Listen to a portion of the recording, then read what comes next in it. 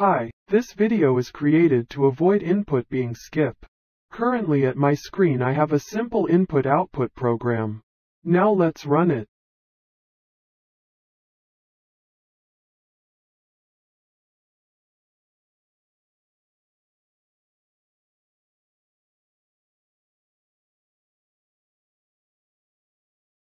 Let's put name as Ahmad because he's Malaysian. For the number we put 34. Ups we got problem here. The reason is scanner class advances the scanner past the current line and returns the input that was skipped. Since this method continues to search through the input looking for a line separator, I think you will not understand. Now we just jump to the solution. Please follow the line code I typed. It may help.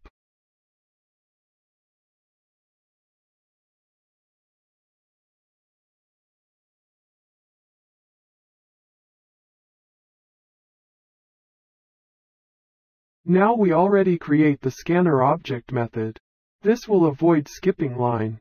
Try to put this line of code in every different types of scanner method. Now let's run the program.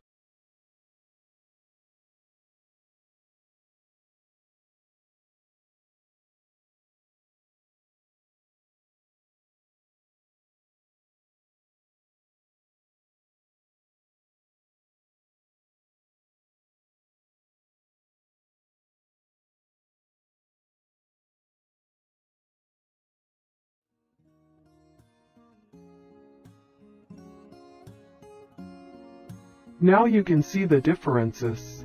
Please don't forget to give a like, share and subscribe to my channel. I am sorry for the bot sound because my mic is in bad condition.